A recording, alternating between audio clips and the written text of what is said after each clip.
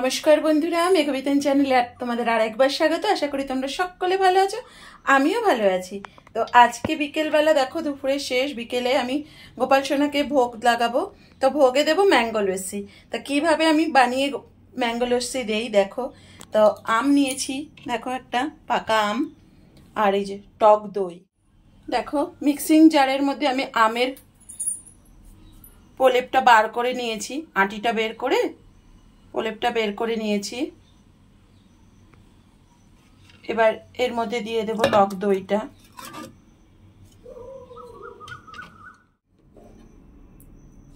এবার আমি দেব দু কাপের মতো চিনি। আমি এখানে চার গ্লাসের মতো রসি করছি। এতটা গরমে আমরাই যখন ক্লান্ত, তো আমার ঠাকুর ঘরটা বন্ধুরা তিনতলার, তিনতলায়, তো খুবই গরম লাগে ঠাকুরদের। সারাদিন পাখা চললেও পাখাটা আমাদের গায়ে লাগছে না। এত গরমে, তো আজকে লস্যি, তাই ভোগ দেব। তো এক চিমটি মতো সন্দব লবণ দিলাম, যেহেতু ভগবানকে নিবেদন করব। আর এক কিউব বরফ আইস বরফ অ্যাড করলাম, এক কিউব দিলাম। আর স্বাদ বাড়ানোর জন্য দিয়ে দেব আমুল স্প্রে গুঁড়ো দুধ। এটা আমার সম্পূর্ণ নিজস্বতা। আমি দিই বন্ধুরা, তোমরা এইভাবে দিয়ে করে দেখো।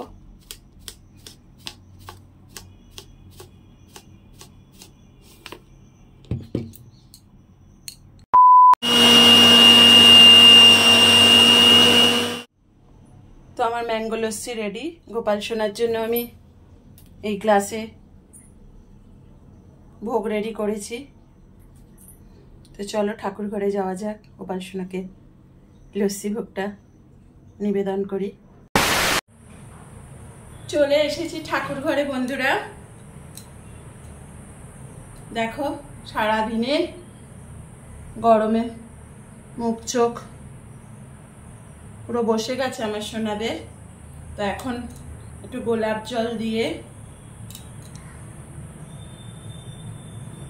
মুখ চোখটা ভালো করে মুছিয়ে দেব।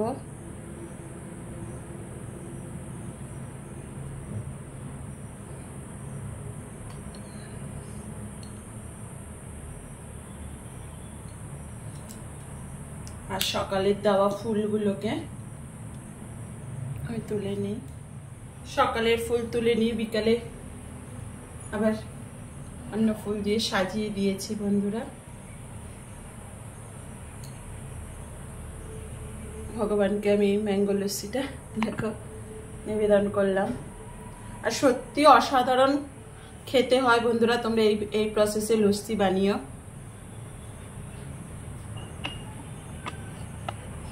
দেখো বন্ধুরা, আমার বাবু সোনার মুখ কত চকচক করছে, গোপাল গোলাপ জল দিয়ে মুখ ধুয়ে।